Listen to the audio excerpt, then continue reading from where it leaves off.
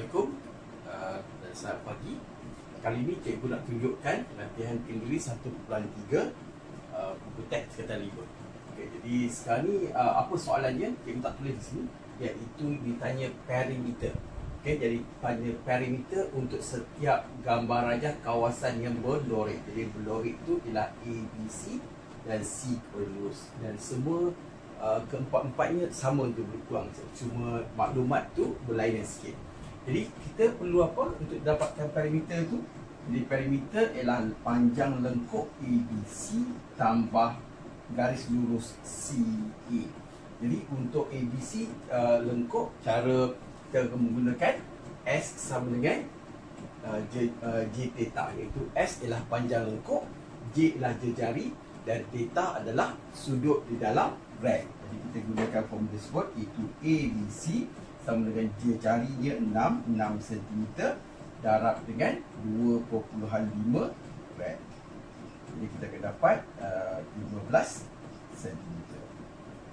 Bagaimana kita nak dapatkan garis lurus uh, CA? kita akan gunakan formula uh, cos yang kita belajar dalam uh, silibus uh, tingkatan 4 tahun lepas iaitu um, formula cos uh, iaitu A kuasa 2 sama dengan B kuasa 2 tambah C kuasa 2 tolak 2 BC cos A.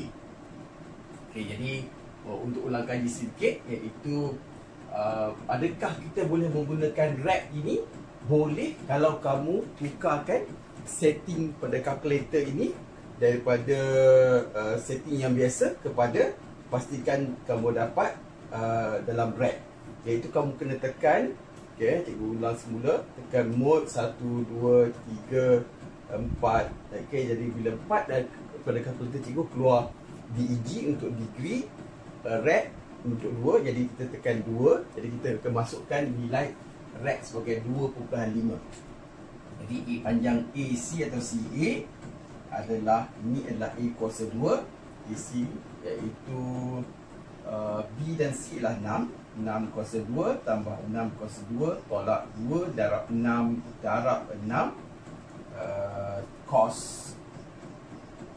2 perpuluhan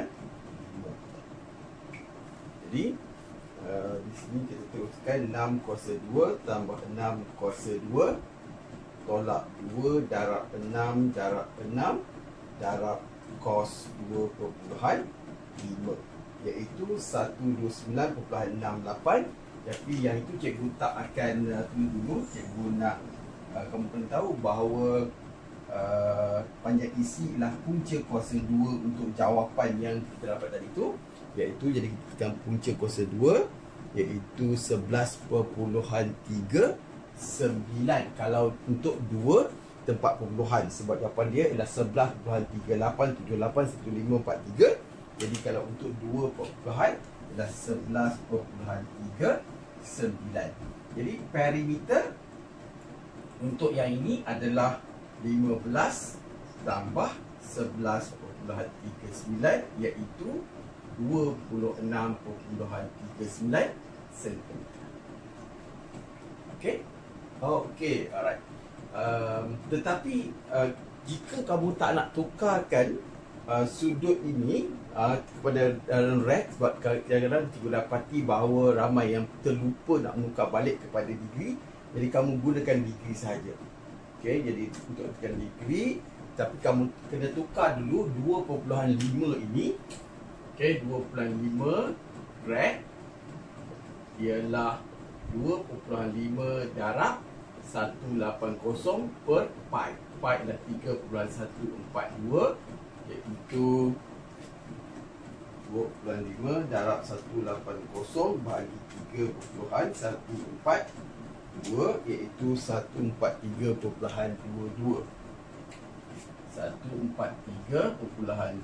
dua uh, degree atau darjah. Okay, jadi di sini kita tukar. Ok 143.22 Okey, jadi sekarang ni kita ulang balik yang uh, ada tadi. Pastikan kalkulator dah tukar pada degree, balik pada degree. Jadi untuk selamat memang kamu tak perlu tak perlu tukar lah. Okay, setting dia 6 kuasa 2 tambah 6 kuasa 2 tolak 2 darab 6 darab 6 darab cos 143 perpuluhan 22 iaitu tetap juga 19.6627 dan punca kuasa 2 tetap juga dapat 11.387 Okey. Okey, sampai dekat B. Soalan yang sama parameter. Jadi parameter untuk soalan B ini adalah sekali lagi tetap juga A, B, C tambah C kepada A. Jadi untuk dapat panjang lengkuk ABC kita gunakan S sama dengan J darab theta. A, B, C ialah jari adalah 10 cm dan sudutnya adalah pi per 3 Uh, tetapi pi ini kita tukarlah kepada 3.142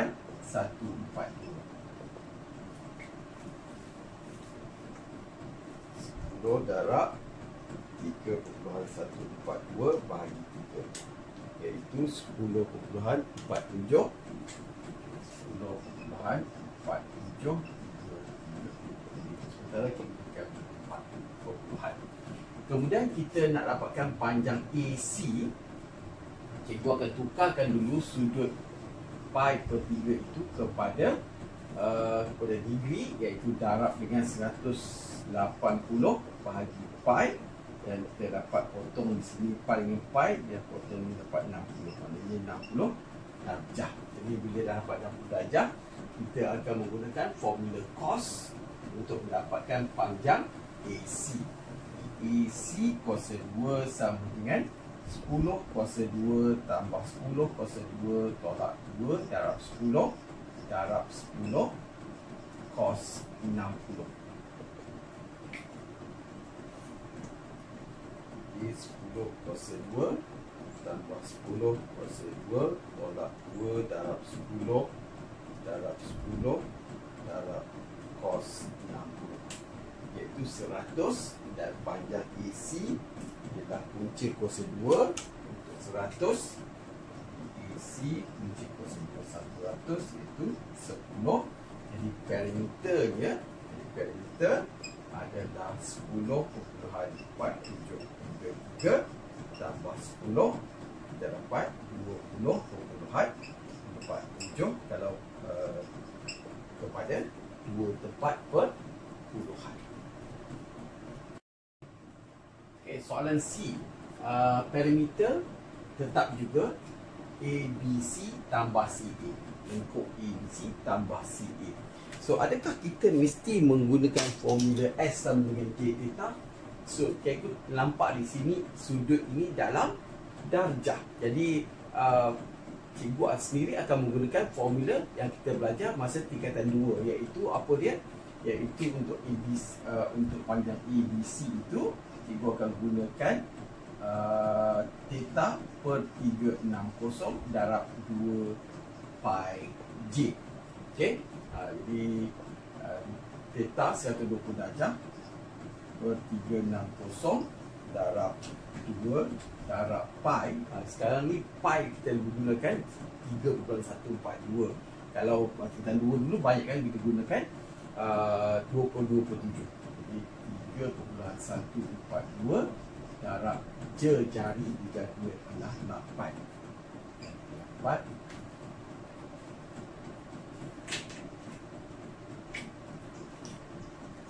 satu dua kosong per kosong darab dua darab tiga satu empat dua darab lapan iaitu enam belas perpuluhan tujuh lima tujuh tiga belas 5 cm.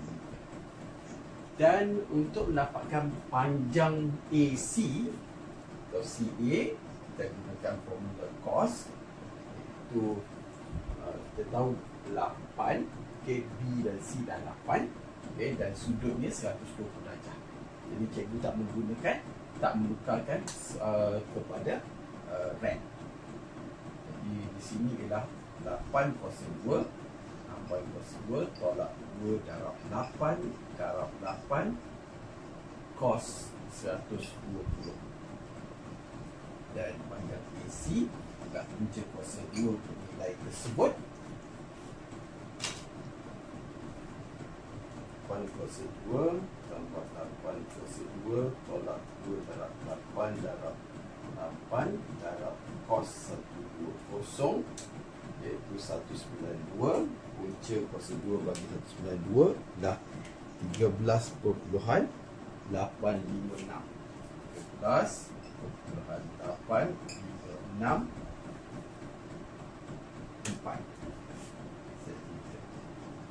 jadi parameter ialah sini ialah terdapat 16.7573 tambah 13.8 36 iaitu 16.7573 tambah 13 iaitu 30.61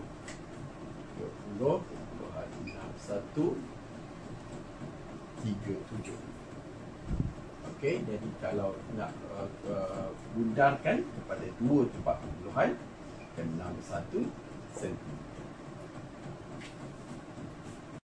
Okey, jadi untuk soalan D kita tak ada sudut pun. Bagaimana kita nak mengira? Jadi apa yang kita ada panjang garis lurus AC. Jadi kita akan tahu uh, ataupun kita dah tahu sini 9 99 cm 99 dan 15 jadi kita dapatkan sudut ini menggunakan formula cos juga okey formula cos yang kita terbalikkan dulu ataupun jadi kalau cikgu cikgu suka terbalik ataupun jadikan subjek dia kepada cos A dia dapat 2 BC uh, cos A sama dengan B kuasa 2 tambah C kuasa 2 tolak A kuasa 2 jadi cos A adalah B kuasa 2 tolak tambah B kuasa 2 tolak A kuasa 2 per 2B C. Jadi seterusnya um, kita masukkan apa yang kita kena tahu. Nilai ini ialah nilai nilai nilai uh, cos A ataupun nilai sudut yang kita nak dapat tu. Dan berhadapan dengan dia 15 itu adalah nilai A. Nilai A yang di sini. B dan C adalah dua yang di sebelah sudut tersebut. Kita masukkan itu 9 kuasa 2 tambah 9 kuasa 2 tolak 15 kuasa 2 per 2 darab 9 darab 9 okay, kita kira yang atas iaitu 9 kuasa 2 tambah 9 kuasa 2 tolak 15 kuasa 2 iaitu negatif 63 2 darab 9 darab 9 2 darab 9 darab 9 ialah 162 uh, dan kita mulakan shift cost. Kita akan dapat nilai E.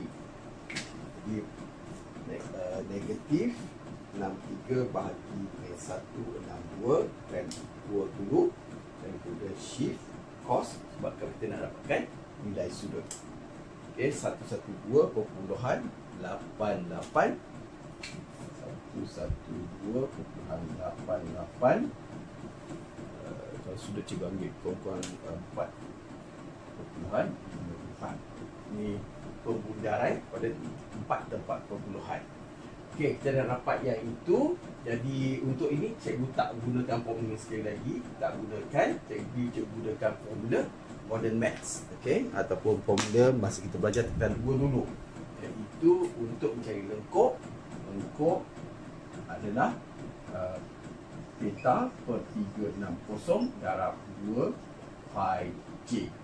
Okey, sebab kita ni sudut tu dalam dalam dalam dalam dalam darjah dalam degree. Okey, boleh gunakan terus. Jadi kita kata uh, 112.885 per 360 darab 2 darab 3 bulan 1 empat dua darab dia jari ni sembilan. Ini satu satu dua perpuluhan lapan lapan lima empat per tiga enam kosong.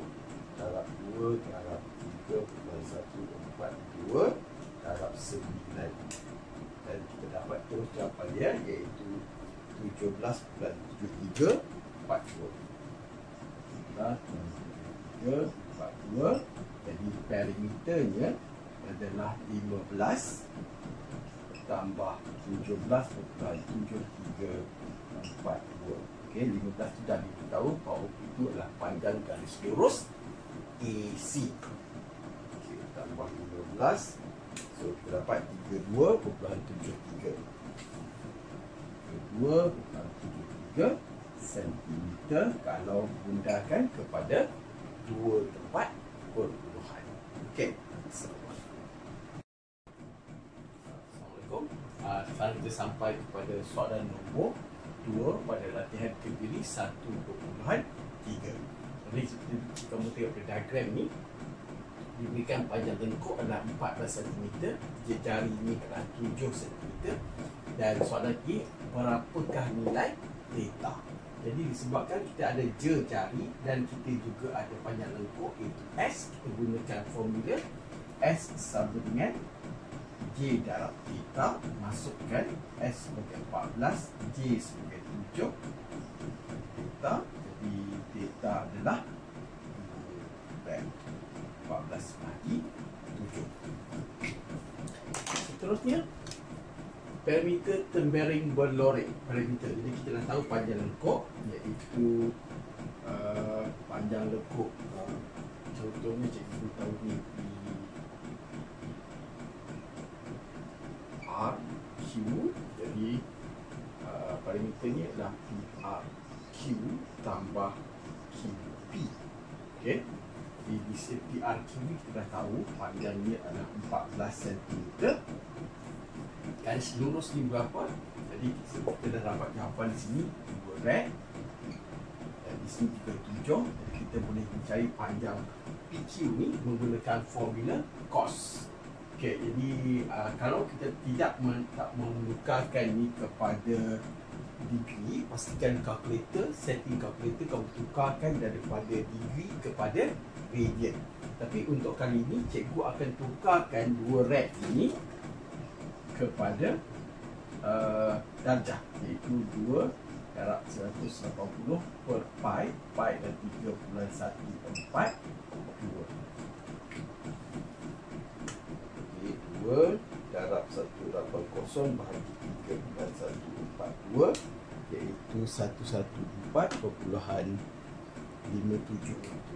114 perpuluhan 57 114 57 67 darjah jadi kita boleh menggunakan formula uh, cos iaitu di sini dua uh, ataupun sudut ini ialah nilai kapital A dan panjang PQ adalah nilai A dan kemudian uh, 47 dan 7 ini ialah untuk B dan C.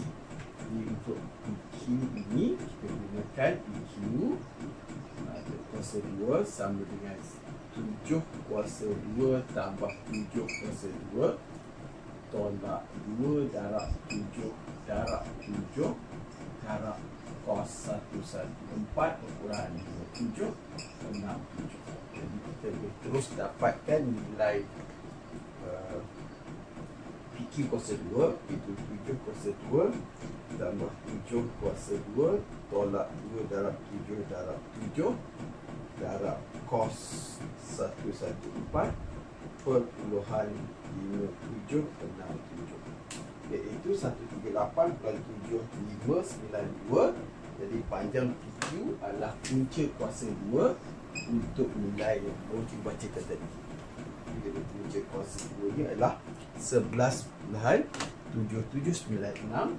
11.7796 cm jadi panjang perimeter adalah 14 tambah 11.77 96 iaitu 25 perpuluhan.